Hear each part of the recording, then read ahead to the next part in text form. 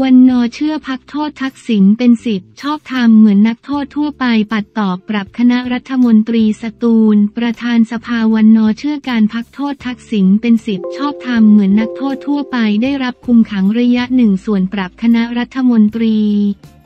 ไม่ก้าวล่วงเป็นเรื่องนายกรัฐมนตรีวันที่ 18 กุมภาพันธ์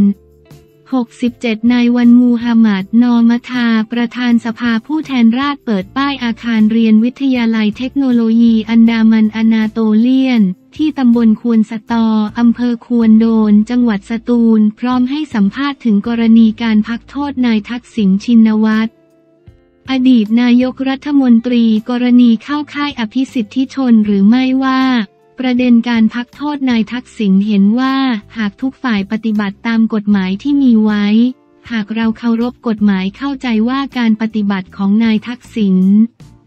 ที่เดินทางมามอบตัวถือเป็นการเคารพต่อกฎหมาย ส่วนการถูกคุมขังเป็นระยะหนึ่ง กฎหมายก็ได้ให้ไว้ว่าเมื่อถูกจำกัดสิทธิ์มาในระยะหนึ่ง จะได้รับการพักโทษเช่นเดียวกับนักโทษทั่วไปทราบว่า คนที่ได้รับการพักโทษในเดือนกุมภาพันธ์นี้ จะมีนักโทษที่ได้รับการพักโทษจำนวน 930 คนถือว่าไม่ได้เป็นการพักโทษเพื่อคนใดคนหนึ่ง ส่วนประเด็นนี้จะมีการปรับคณะรัฐมนตรีใหม่หรือไม่ในวันมูฮัมหมัดนอกล่าวว่า ไม่อาจทราบได้เพราะเป็นเรื่องของนายเศรษฐาทวีสินนายกรัฐมนตรีและรัฐมนตรีว่าการกระทรวงคลัง ซึ่งตนมีหน้าที่ดูแลในเรื่องของสภาเท่านั้น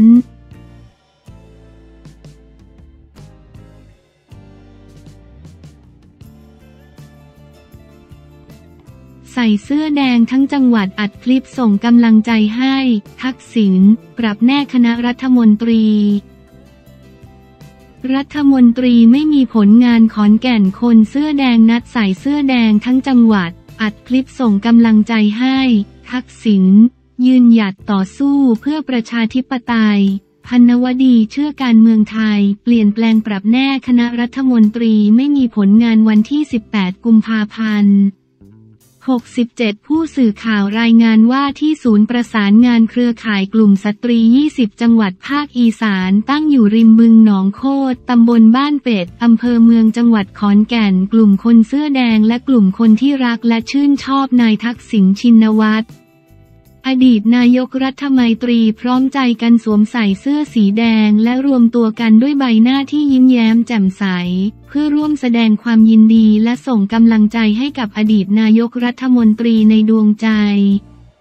ภายหลังจากได้รับการยืนยันและปรากฏภาพของอดีตนายกรัฐมนตรี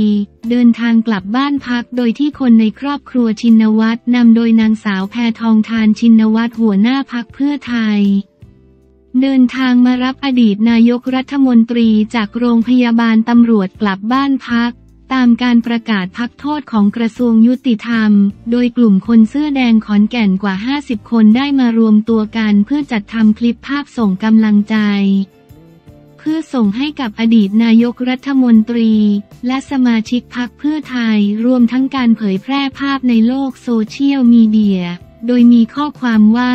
กลุ่มคนเสื้อแดงขอนแก่นขอเป็นกำลังใจให้กับท่านนายกทักษิณชินวัตร ขอให้ท่านมีสุขภาพที่สมบูรณ์ แข็งแรงมีพลังใจที่เข้มแข็งยืนหยัดต่อสู้เพื่อประชาธิปไตย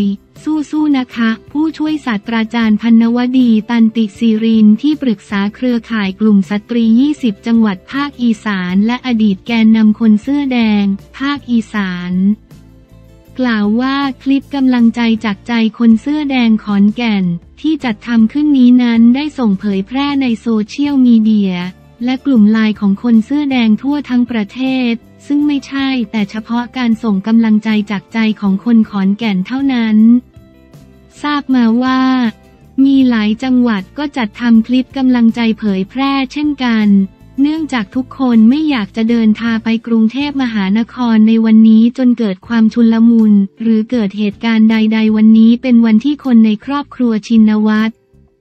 และผู้ที่รักและเคารพในอดีตนายกรัฐมนตรีดีใจที่สุด เพราะเป็นวันที่ทุกคนรอคอยภายหลังจากต้องถูกกระทำจากการยึดอำนาจของระบอบเผด็จการมานานกว่า 17 ปี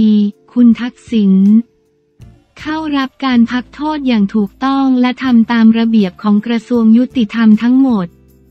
จนวันนี้ทุกคนได้เห็นภาพของอดีตนายกรัฐมนตรีในดวงใจ ที่ได้รับการพักโทษและเดินทางกลับบ้านพร้อมกับครอบครัว อย่างไรก็ตามนับเป็นนิมิตหมายที่ดีที่น่าจะมีการเปลี่ยนแปลงใด ๆ เกิดขึ้น เนื่องจากท่านอดีตนายกรัฐมนตรีเคยประวารณาไว้ว่าเมื่อพักโทษหรือพ้นโทษออกมาแล้ว จะขอทำประโยชน์ให้กับประเทศชาติอย่างเต็มที่ต่อไป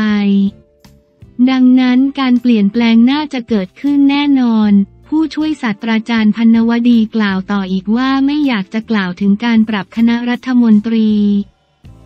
เพราะงานของคนเสื้อแดงและงานภาคประชาชนนั้นไม่ยุ่งกับการเมือง แต่เมื่อฟังเสียงจากภาคประชาชนแล้วพบว่า ส่วนใหญ่อยากให้มีการประเมินผลงานคณะรัฐมนตรี ทุกหกเดือน ซึ่งคนที่ไม่มีผลงานก็ควรที่จะปรับออก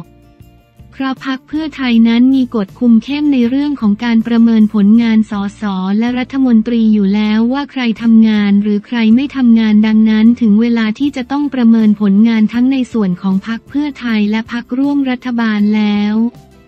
โดยไม่อยากเจาะจงว่าใครควรอยู่หรือไป เพราะทุกคนรู้ตัวเองอยู่แล้ว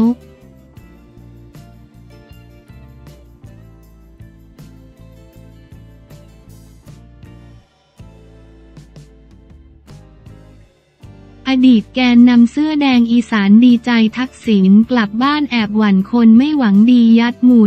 112 กลั่นแกล้งอดีตแกนนำคนเสื้อแดงอีสานดีใจทักษิณออกจากโรงพยาบาลกลับบ้านจันสองล่า ประชาชนเชื่อหมดเวรหมดกรรมแอบหวั่นคนไม่หวังดียัดหมู่ 112 กลั่นแกล้งวันที่ 18 กุมภาพันธ์ 67 ผู้ช่วยศาสตราจารย์พันวดี ตันติศิรินที่ปรึกษาเครือข่ายกลุ่มสตรี 20 จังหวัดภาคอีสานและอดีตแกนนำคนเสื้อแดงภาคอีสาน กล่าวว่าช่วงเช้าที่ผ่านมาตนเองได้รับข่าวนายทักษิณชินวัตรอดีตนายกรัฐมนตรีได้รับการอภัยโทษและได้ออกจากโรงพยาบาลตำรวจ เดินทางกลับบ้านจันทร์สองล่า ซึ่งตนเองรู้สึกดีใจที่อดีตนายกรัฐมนตรีมีรายชื่อหนึ่งใน 970 คนที่ได้การอภัยโทษหรือพักโทษโดยตนเองดีใจจนแทบไม่ได้พักผ่อนตั้งแต่เมื่อคืนไม่ใช่ว่าจะดีใจที่ท่านได้กลับไปสู่อ้อมอครอบครัว แต่หลายคนดีใจที่คนดีได้รับ ความเป็นธรรมและหมดเวรหมดกรรมแล้ว ผู้ช่วยศาสตราจารย์พันวดีตันติศิรินกล่าวอีกว่าที่ผ่านมาอดีตนายกทักษิณเป็นนายกที่มาจากการเลือกตั้งของประชาชน ไม่มีความผิดอะไรและยังเป็นตัวแทนของประชาธิปไตยยะต่างอยู่อยู่ถูกปฏิวัติและตั้งคอสอชอขึ้นมา พร้อมตั้งคณะกรรมการขึ้นมาไตร่ส่วนเอาผิดอดีตนายกทักษิณซึ่งมองดูแล้วเป็นการกลั่นแกล้ง ทหารก็มาแย่งอำนาจจากประชาชนที่ฝากไปกับอดีตนายกทักษิณสร้างความโกรธแค้นให้กับประชาชนที่รักษาประชาธิปไตย แต่ในวันนี้อดีตนายกทักษิณออกจากโรงพยาบาลกลับบ้านจันทร์สองล่าทำให้ประชาชนส่วนใหญ่คิดว่า หมดเวรหมดกรรมกับนายทักษิณ อย่างไรก็ตามตอนนี้ได้ข่าวมาว่าจะมีฝ่ายไม่หวังดีจะดึงอดีตนายกทักษิณเข้าในข่ายความผิดหมู่ 112 ทั้งที่ไม่ได้เข้าไปเกี่ยวข้อง เพราะตลอดชีวิตของท่านไม่เคยที่จะเข้าไปเกี่ยวข้องกับสถาบันเบื้องสูง และได้นำประชาชนทั่วประเทศสวมใส่เสื้อเหลือง แสดงความจงรักภักดีมาแล้ว ที่สำคัญตนเองพร้อมเครือข่ายกลุ่มสตรีภาคอีสาน 20 จังหวัด ก็จะเป็นกำลังใจให้อดีตนายกรัฐมนตรีทักษิณแม้ว่าท่านจะมีอายุ 75 ปี แต่ยังสามารถที่จะมาช่วยพัฒนาประเทศไทยให้เจริญก้าวหน้าต่อไปได้อีก